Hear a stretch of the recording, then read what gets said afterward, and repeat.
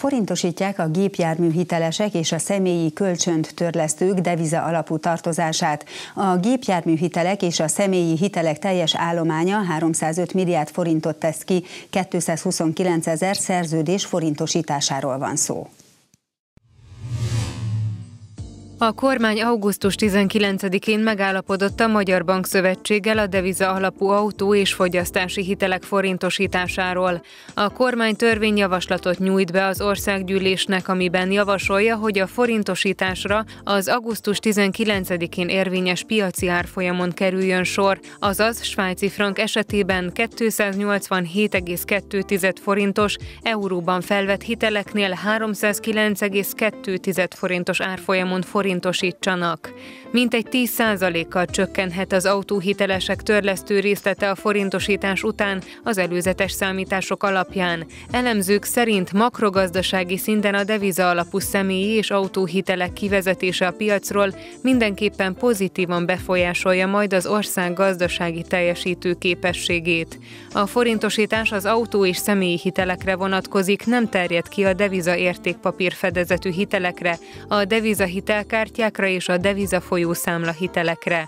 Decembertől a pénzintézetek postázzák majd ügyfeleiknek a forintosításról szóló ajánlatukat, ugyanolyan levelet fognak kiküldeni, mint a jelzálog hiteleseknek, amelyben leírják, mi az adósság devizaneme összege, mi az új kamatláb, mekkora az új törlesztő részlet. Amennyiben 30 napon belül az ügyfél nem jelzi a hitelnyújtónak, hogy nem kíván élni a forintosítással, akkor életbe lép a szerződés módosítás. A témát folytatjuk itt a stúdióban, Gerhes Miklós közgazdásszal. Jó estét kívánok! Jó estét kívánok! Ezzel a szerződés módosítással ön szerint nagyon sokan élni fognak. Biztos, hogy élni fognak, hiszen alapvetően abszolút összegben csökkenni fog a törlesztő részlet, és az állam és a bankszövetség abban egyezett meg, hogy együttesen 31 milliárd forintot szánnak erre a célra, tehát a devizahitelesek összesen 31 milliárd forinttal kevesebb induló törlesztő részletről fognak indulni. Nagyon sokan arról beszélnek, hogy ez a döntés egy picit elkésett, hiszen nagyon sokan sokat veszítettek abból a bizonyos autóhitelből. Gondolok én arra, hogy amikor fölvették a hitelt, akkor az autónak volt egy reális értéke, ahhoz képest sokat fizettek vissza, és nagyon sokat buknak a hitelezők ezen. Mi a vélemény erről? Miért döntött úgy a kormány ön szerint, vagy az elemzők szerint, a közgazdászok szerint, hogy az autóhiteleseket is mégiscsak menti? Hát az autóhiteleseknek, a, a végén kezdem, az autóhiteleseknek a megsegítése azért került most erőtérbe, hiszen nem olyan régen, épp itt a stúdióban is beszéltünk, hogy eltörölték a küszöbb árfolyamot. Tehát a, például a svájci fran alapvetően, a svájci fran árfolyama alapvetően megváltozott. Tehát ez egy olyan ö, övön aluli ütés volt, idézőjelvetéve, a devizahiteleseknek, amit már hát nehezen lehetett elviselni.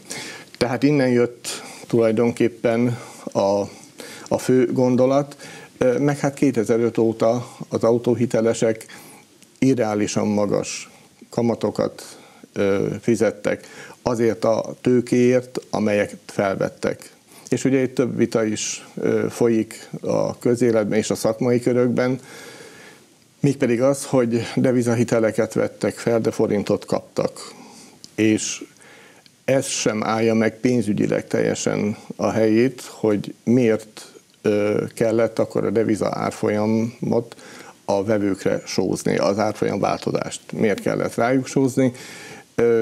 Hát itt nagyon sok szakmai vita van, itt alapvetően magát a kölcsön hitelességét is megkérdőjelezik, hiszen a PTK 523-as pontja, ha valaki utána akar nézni, a kölcsönről alapvetően mást ír, és másképpen foglal állást, mint ahogyan most a gyakorlatban ment Magyarországon. Tehát a hitelszerződésekre a hitel, így van, így van. Ezért, is tartják, ezért is tartják aggályosnak a forintosítást egyes elemzők vagy banki pénzügyi szakemberek, mivel hogy ezeknek a, a kölcsönöknek nagy része egy ilyen szerződés keretében született meg, hogyha módosítani fogják, akkor mi szerepelhet, vagy mi változhat az új szerződésben?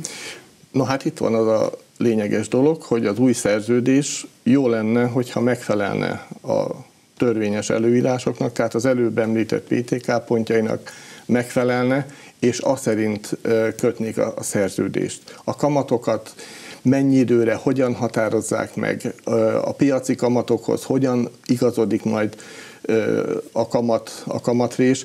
Azt azért el kell mondani, feltétlenül el kell mondani, hogy igaz, hogy lezárult, mondhatjuk azt, hogy a devizahiteleknek egy korszaka lezárult. Hála Istennek. Kezdődik valami új, de azért, akik most az új szerződésekbe belemennek, azért még ne bontsanak pesgőt, mert, mert meg kell várni, hogy milyen lesz az az új szerződés. És tudni kell azt is, hogy a forint ki van téve a világpiaci változásoknak.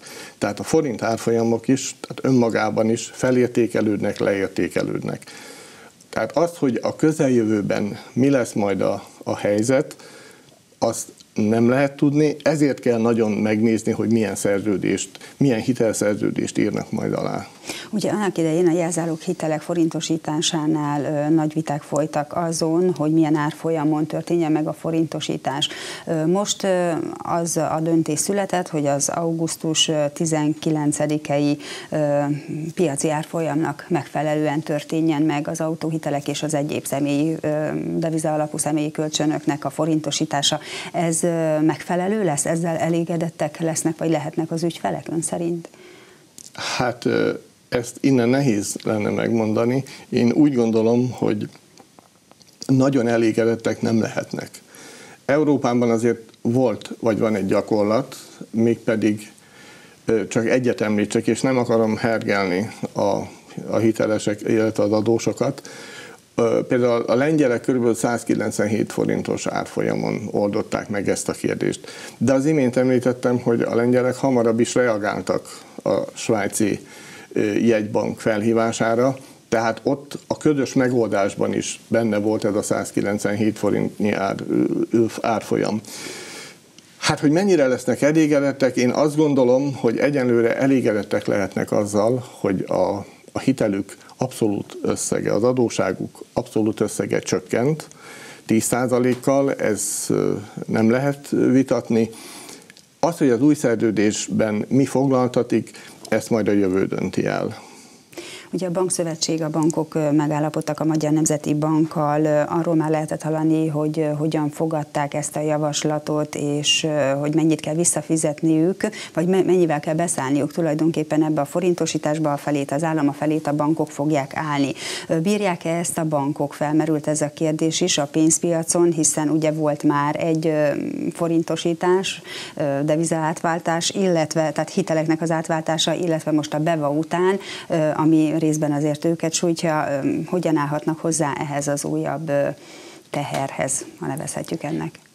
Hát én azt gondolom, hogy a bankokat azért nem kell félteni egyrészt, másrészt pedig ez, ez a 30 milliárd, ebből 15 milliárd nem akkora összeg, hogy ez a bankoknak problémát okozna. Itt persze az is kérdés, hogy súlyotottan melyik banknak hány hitelese van. Ugye a teher ez ennek függvényes, de valószínű, hogy egy, a bankszövetség által együtt állják a bankok ezt a 15 milliárdot.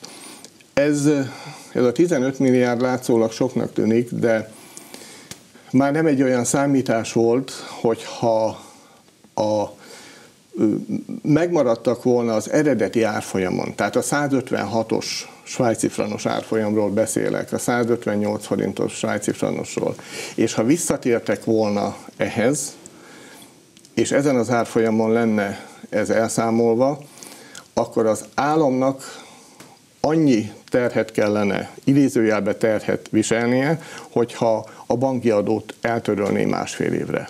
Tehát ezzel helyre lenne téve a dolog. Köszönjük szépen!